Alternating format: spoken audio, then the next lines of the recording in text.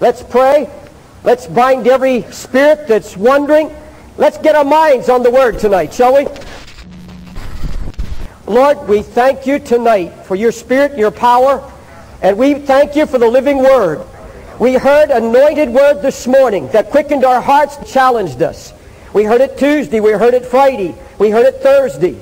Now, Lord, we're never tiring of your precious word. We don't get tired of your word. And I pray that you would make this word a two-edged sword tonight. Holy Spirit, I need you. I need that special unction and anointing of the Holy Ghost. Lord, you're about to shut the door on many, many who've taken advantage of you, who have not valued your presence, who are not heeding your word. You're going to rise up and you're going to shut the door. Oh, Jesus, send your Holy Ghost tonight with conviction. Put the knife to our hearts if you must. Cut it asunder. Lord, let there, let there be a seriousness tonight. Let there be a sobering by the Holy Spirit.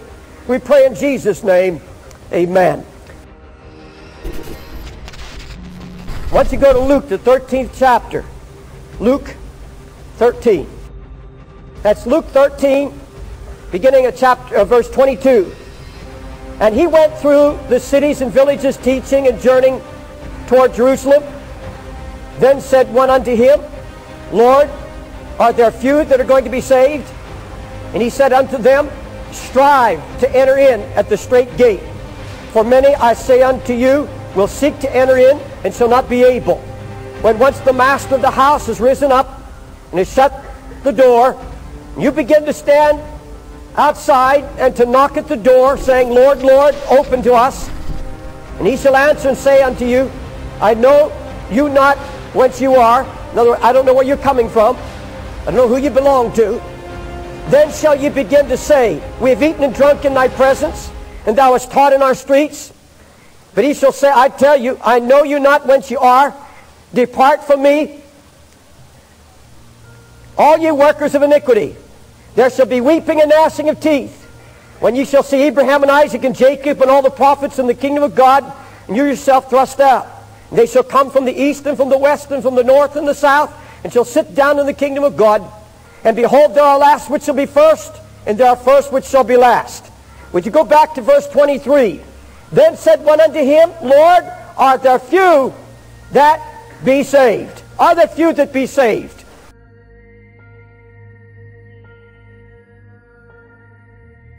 Look at the church today. Armies of trained experts, shepherds and Christian workers. Where are most of them headed?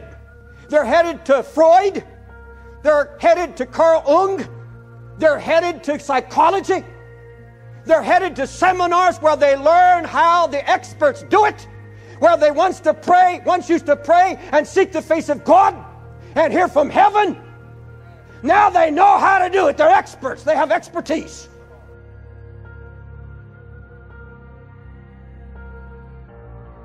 And you ask the question, Lord, how many are going to be saved here out of all these millions? And then the question, the answer always comes back, such a few. Our churches no longer have the power of God to attract the people in many circles. So they've gone down to Egypt and borrowed its music, its dancing, its entertainment, hoping to get the crowd back. It's not a passion for souls, it's just a passion for crowds. I've got men who hate what I preach, but they'd love to have me because they think I can get a crowd.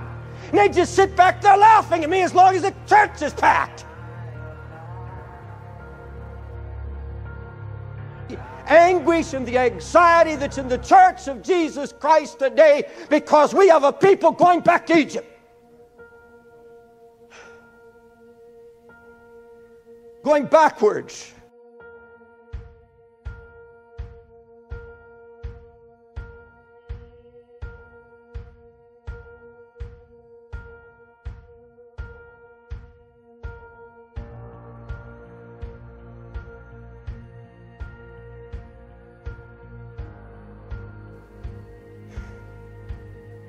Our churches no longer have the power of God to attract the people in many circles. So they've gone down to Egypt and borrowed its music, its dancing, its entertainment, hoping to get the crowd back.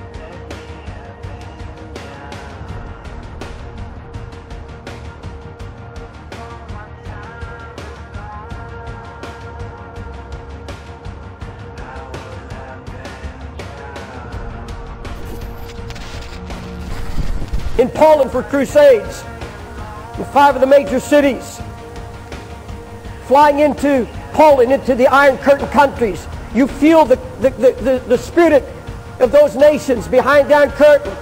You think not only of Poland, Czechoslovakia, Romania, all those Eastern Bloc countries. You think of Russia. God, this is a city given to witchcraft. It's a city of, of all kinds of idolatries. How many are going to be saved? And you hear that sad report in, in lieu of the population, in, in view of the population, so very few. Then you move to China and you think of the multiplied hundreds of millions in China. And then you're talking not millions of lost souls, you're talking billions. Billions. And you say, oh, Jesus, how many are going to be saved? Are there just a few? The same question this man asked.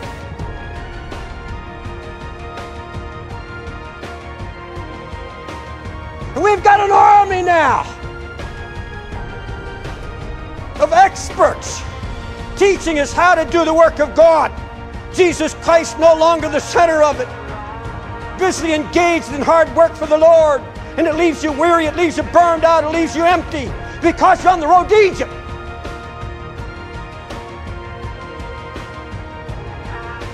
I'm going to make a statement and I hope you hear me and I kid you not. When you're moving in the Spirit, and when you're holding the head, and when it means hold the head, it means you retain Christ as the center of everything. You will not get weary. You will not get burned out. You will not get discouraged. There will be an ever increasing light dawning in your heart. I've learned that the hard way.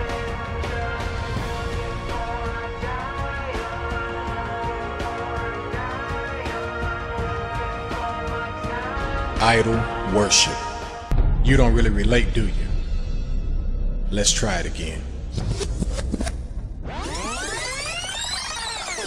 I was watching TV the other day, and this show comes on with these religious fanatics, and they were crazy. Well, you would think they were crazy if you didn't understand their culture and their religion. See, that's just the thing. See, they were worshippers of idols.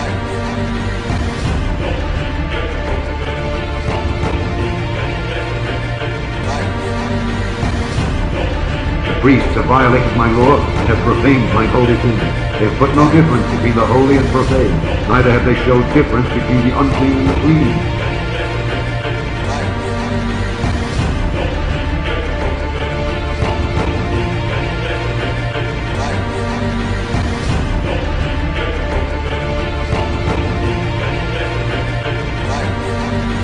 Worshippers of idols.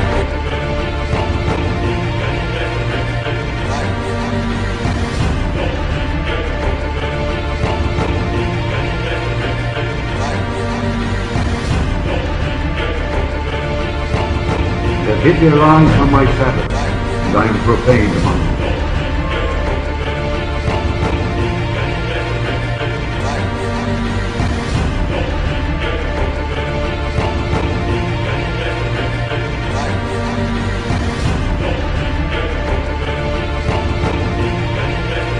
Worship and survivors.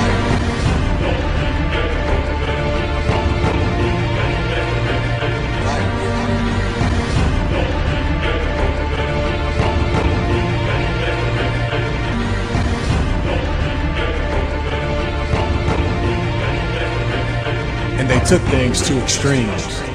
They painted their bodies, they wore these ridiculous costumes, they chanted, they danced, they even made sacrifices to the idols. But they had built these enormous temples to worship their idols in. It seems like their entire existence climaxed into this one scenario, this one over-the-top act of worship.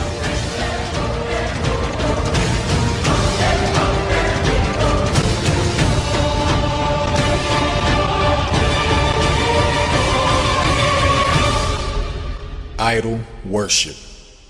It's not only golden calves anymore.